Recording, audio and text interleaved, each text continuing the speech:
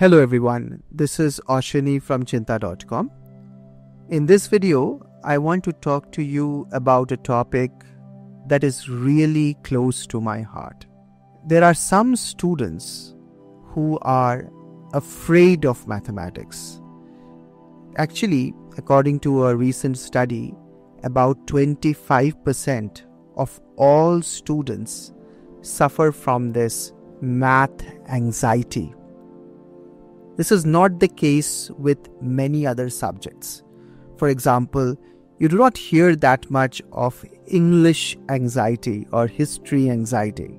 But mathematics, on the other hand, you find students all the time who are afraid of the subject. Why is it the case?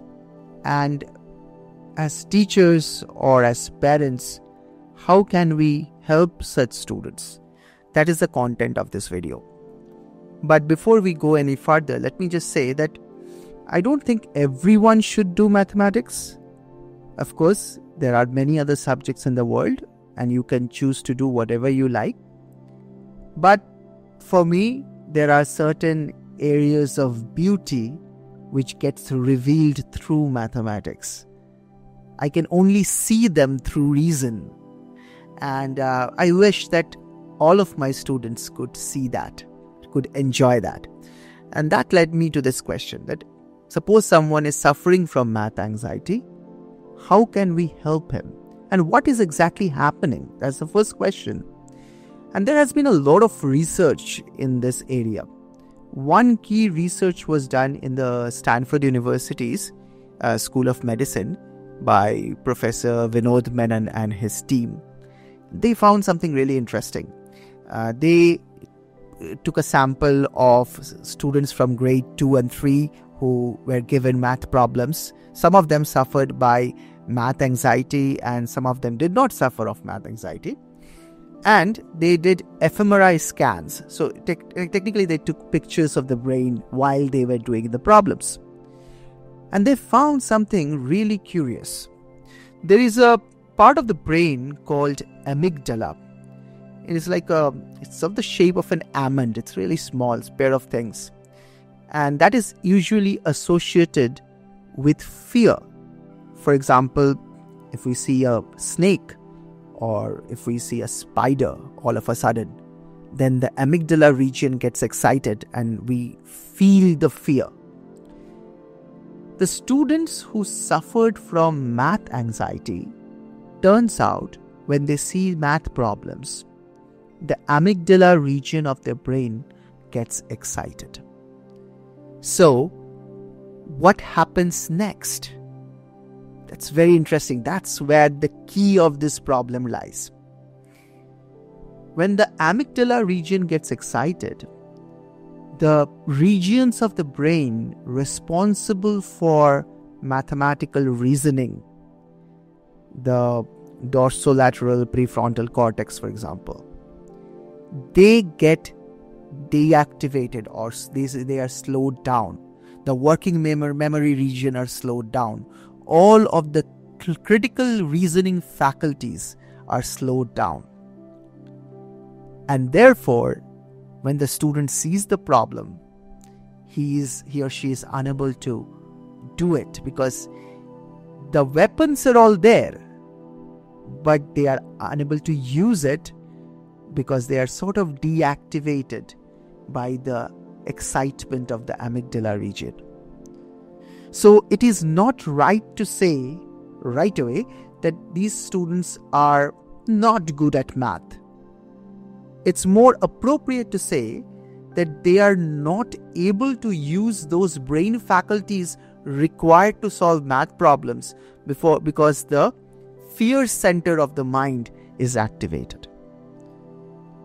The question is why does this happen? Why the fear center gets activated? So, researchers are not very clear on this, but they have some circumstantial evidence for several reasons. And they point out one of one reason they point out is um, parental obsession with mathematics. It turns out there is another paper on this that if a parent is really obsessed with students of their child's um, performance in mathematics, then the child is less likely likely to perform well in mathematics. Uh, there is also some relation of the change of the shape of the right amygdala, which is directly associated with long term family stress and other factors, environmental factors. So, there could be many reasons. I often think of this uh, like the story of Karna from Mahabharata. Uh, if you are familiar with Mahabharata, you will directly relate to this. In Mahabharata, in the time when Karna needed the weapons, his chariot was broken. It was in the mud. And that was the um, sort of the curse of his guru, Parashuram. So, whether Karna is a great warrior or not, that wasn't even tested because he forgot all the weapons. His chariot was broken. It's like that. Whether the student has the ability to do mathematics, that is not even tested. Even before that, the excitement of the amygdala reduces the effectiveness of those mental faculties. Okay, so this is the problem. So we understand what is the problem. Of course, we have to de stress the student, that all that is fine. But are there specific prescriptions? Can we do specific things to help the student in this scenario? So we try to do some of the some of the things in the uh, elementary school mathematics programs at Cheenta and we are always very interested in research in this direction. So we internally do uh, such things. So i will suggest some of the things for which there, there are some evidence that they work. But um, there is a lot of work needs to be done in this area. And as parents and teachers you can also contribute to this. So the first thing that you can do and this has been proved with some evidence is that you can assign a personal tutor to the student for a specific area a, amount of time let's say one month. Maybe the tutor works with the student one on one and he or she doesn't give more problems. They just work on the existing problems maybe the easier problems and in a troubleshooting mode. So basically through a conversation, like a Socratic conversation with the student. How do you solve the problem?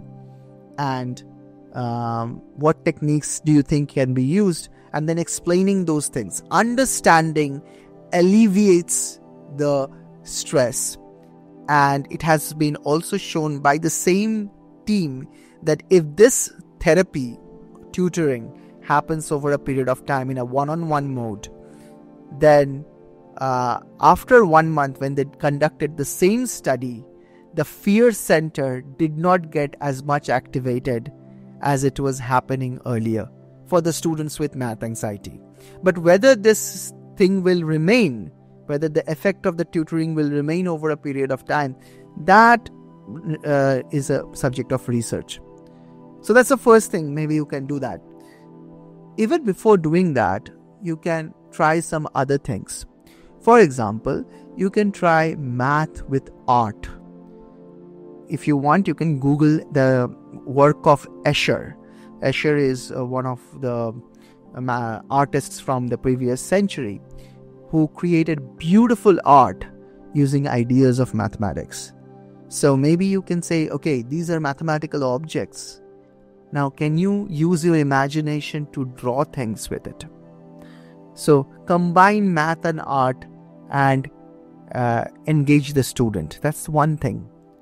The second thing that you can do is use puzzles that do not use a lot of calculation but still use critical reasoning.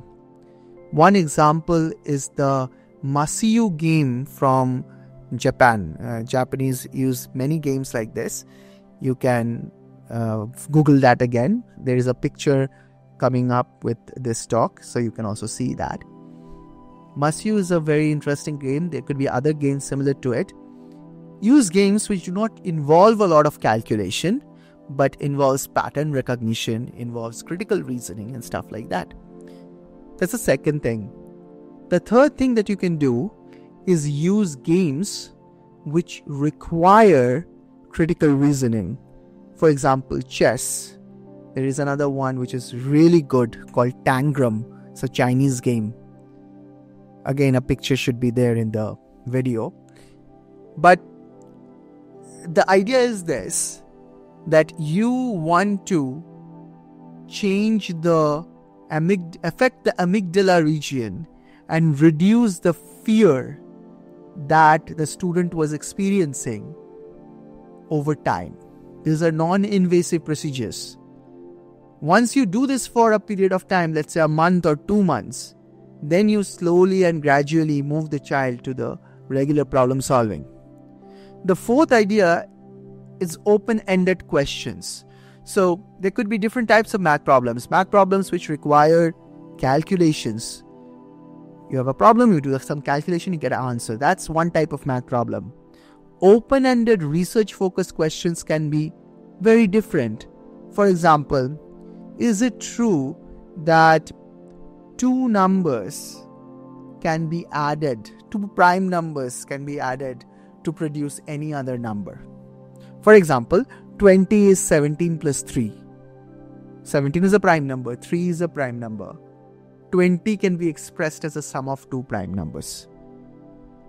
Can you find out how many ways can a number be written down as a sum of two prime numbers? Can you do this experiment up to 100? Is it at the number of ways increasing? If the student is interested in computer science, this can also be done algorithmically. This is a research focused question. It doesn't have one answer. The student has to investigate this over time. Do not tie down the mathematical performance of the student with a test, or do not put pressure on the student and um, become obsessed with mathematics. That is one of the key things that researchers are saying over and over again. Maybe the obsession is affecting the amygdala region, creating fear, and that is stopping the student from using the faculties that are required to solve the problems. They are not even reaching that part of solving. Even before them, that they're shutting down. Okay, so I hope this uh, video has been useful. Uh, and uh, maybe we can discuss more on this if you have some comments put in the comment section and there's a lot of work that needs to be done in this area and at Cheenta in our research team we continue to strive toward it. Thank you for watching this video. I will see you in the next one. Bye